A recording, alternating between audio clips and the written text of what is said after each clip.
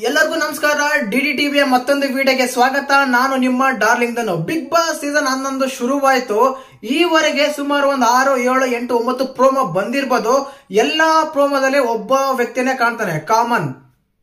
Big ಬಾಸ್ಗೆ ನರಕ ನಿವಾಸಿಗಳಿಗೂ, ಸ್ವರ್ಗ ನಿವಾಸಿಗಳಿಗೂ, ನಾನೇ king, ನಾನೇ ರಾಜ ಅಂತ ಹೇಳ್ಕೊಂತಿರುವ ಜಗದೀಶ್ ಅವ್ರು ಮಾತ್ರನೇ ಎಲ್ಲಾ ಪ್ರೋಮದಲ್ಲೂ ಕಾಣ್ತಾ ಇರೋರು ಈಗ ಬಂದಿರೋ ಪ್ರೋಮದಲ್ಲೂ ಅವರೇ ಕಾಣ್ತಾ ಇದ್ದಾರೆ. ಕಾರಣ ಏನಂದ್ರೆ ಅವರು ಡೈರೆಕ್ಟ್ ಆಗಿ ಹೇಳ್ತಾ ಇದಾರೆ ಹದಿನಾರು ಜನ ಡಿಫೆಂಡ್ ಮಾಡ್ತಾ ಇದ್ದಾರೆ ನಾನು ಒಬ್ಬನೇ ಅಂತ.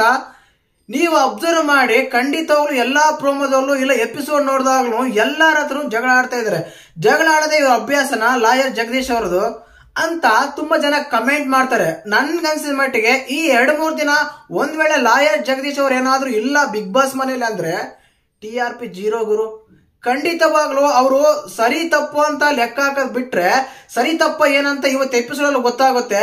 ಇಲ್ಲಿ ಬಂದ್ಬಿಟ್ಟು ಸ್ವರ್ಗ ನಿವಾಸಿಗಳು ಮತ್ತೆ ನರಕ ನಿವಾಸಿಗಳು ಇಬ್ರು ಸೇರಿ ದಂಡ ಎತ್ತಿ ಹೋಗ್ತಾ ಇದ್ದಾರೆ ಅವ್ರ ಮೇಲೆ ಅಂತ ತುಂಬಾ ಕ್ಲಿಯರ್ ಕಟ್ ಆಗಿ ಪ್ರೋಮೋ ರಿಲೀಸ್ ಆಗಿದೆ.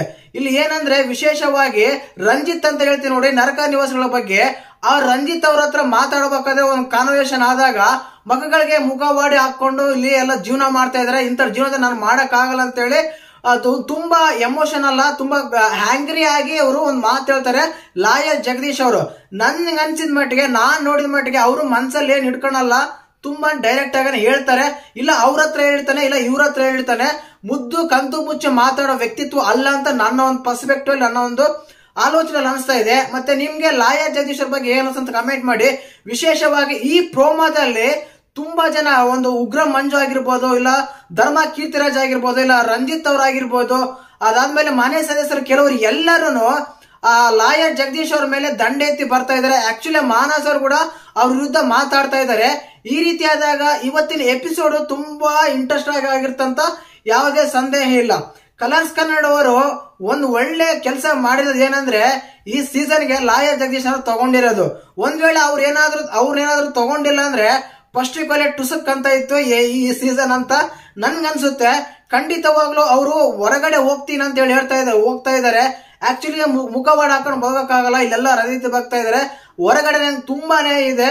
ನನಗೆ ಆದ್ರಿಂದ ಈ ಬಿಗ್ ಬಾಸ್ ಬೇಡ, ನಾನು ಹೊರಗಡೆ ಹೋಗ್ತೀನಿ ಅಂತ ಹೇಳಿ ಲಾಯರ್ ಜಗದೀಶ್ ಅವ್ರ ಹತ್ರ ಜಗಳಾಡಿ ಬರ್ತಾ ಇದ್ದಾರೆ. ಮತ್ತೆ ಈ ಪ್ರೋಮೋ ನೋಡಿದಾಗ ನನಗನ್ಸಿದ್ದು ಒಂದೇ ಏನೋ ಕಿತಾಪತಿ ನಡೆದಿದೆ ಅಂತ ಕಾರಣ ಏನಂತ ನೋಡಿ ಅಲ್ಲಿ ಅಷ್ಟು ಜನ ಅವರು ವಿರುದ್ಧ ಮಾತಾಡ್ತಾ ಇದ್ರೆ ಅಂದ್ರೆ ಇಲ್ಲಿ ಲಾಯರ್ ಜಗದೀಶ್ ಅವ್ರು ಕರೆಕ್ಟ್ ಅಂತ ನಾನು ಹೇಳ್ತಾ ಇಲ್ಲ.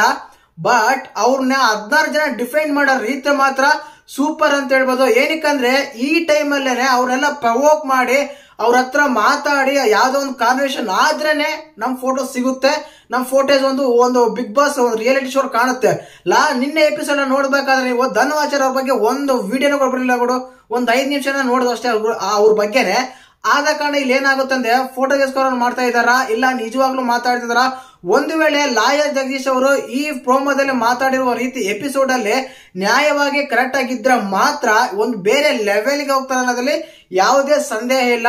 ಆ ರೀತಿ ಇದೆ ಪ್ರೋಮೋ ಮತ್ತೆ ಈ ಪ್ರೋಮೋ ನೋಡಿದಾಗ ಲಾಯರ್ ಜಗದೀಶ್ ಅವರು ಬೇಕಾದ್ರೆ ಜಗಳ ಆಡ್ತಾ ಇದಾರ ಇಲ್ಲ ಕಂಟೆಂಟ್ಗಾಗಿ ಮಾಡ್ತಾ ಇದಾರ ಇಲ್ಲ, ನಿಜವಾಗ್ಲೂ ಅವ್ರು ಇರೋದೇ ಹೀಗೇನಾ ಅಂತ ಕಮೆಂಟ್ ಮಾಡಿ. ವಿಡಿಯೋ ಇಷ್ಟ ಲೈಕ್ ಮಾಡಿ ಶೇರ್ ಮಾಡಿ. ನನಗಂತೂ ಒಂದಂತೂ ಸತ್ಯ ಗುರು. ಕಿಂಗೆ ಲಾಯ ಜಗದೀಶ್ ಅವರು ಈ ಸೀಸನ್ಗೆ ಈ ವಾರದಲ್ಲಿ ಅವರೇ ಕಿಂಗ್ ಅಂತ ಹೇಳ್ಬೋದು. ಮತ್ತೆ ನಿಮ್ಗೆ ಅಂತ ಕಮೆಂಟ್ ಮಾಡಿ. ಜೈ ಹಿಂದ್, ಜೈ ಕರ್ನಾಟಕ ಮಾತೆ.